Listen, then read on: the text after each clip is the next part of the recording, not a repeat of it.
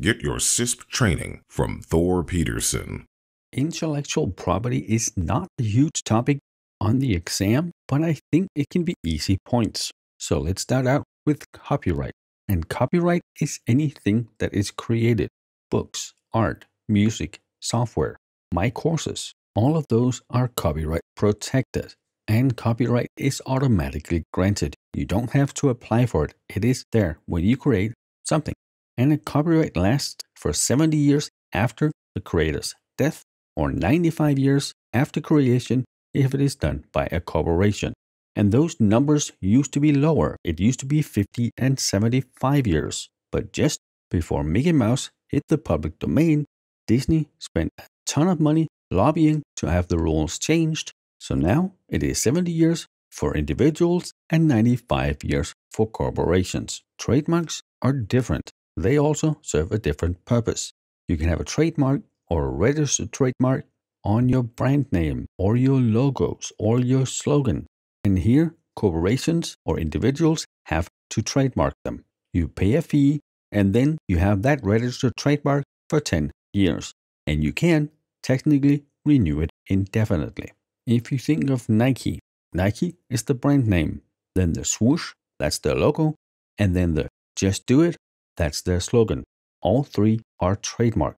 And then we have patents. And patents are normally granted for 20 years. And for us, it is important to remember cryptographic algorithms, they can be patented.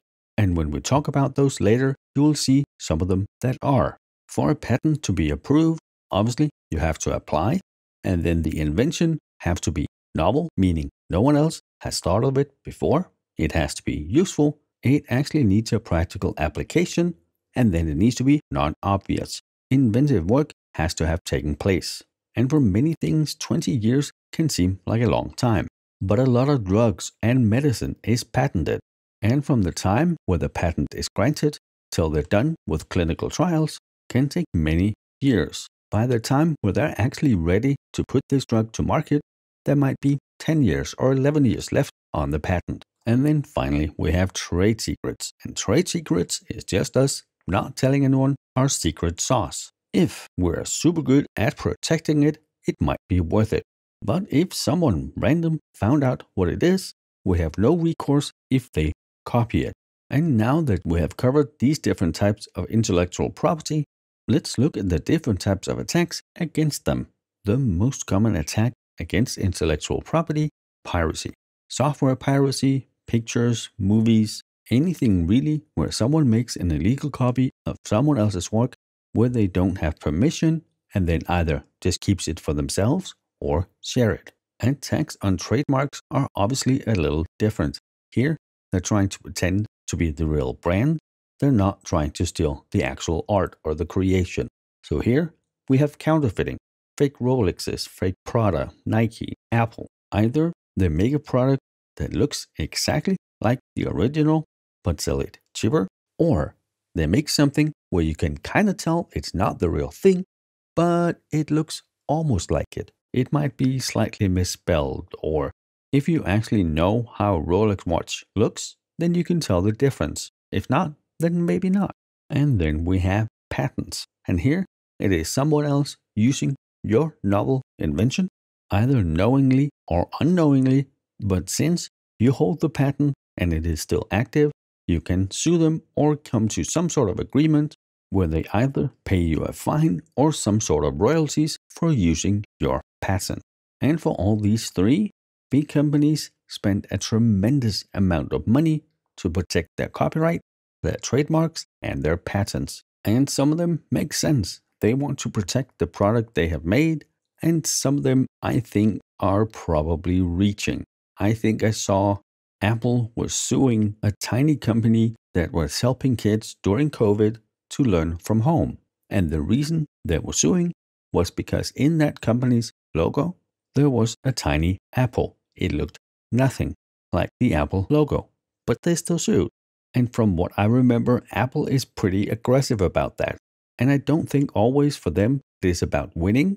A tiny company like that, they have no chance of going to court. They don't have the money.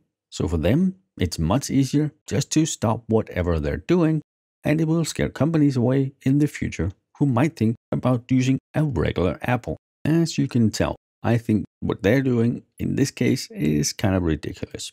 And then finally, we have trade secrets. And remember, there is no legal protection here.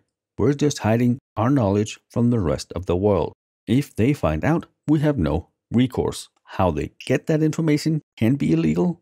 This could often be corporate espionage, but once the knowledge is out, it's going to be very difficult to get it reeled back in. And then finally in this lecture, let's cover cyber squatting and typo squatting. So cyber squatting is buying a URL that you know someone else will need. And I also have it here saying it's a legal gray area. And it is a gray area because it depends on how you plan to use it.